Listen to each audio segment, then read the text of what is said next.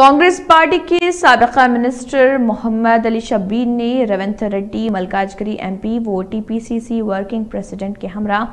Amberpet division number 83 में public meeting मुनद की और कांग्रेस की तशहरी मुहिम चलाई। इस मौके पर उनके हमरा दीगर कांग्रेस कारकुन भी मौजूद थे।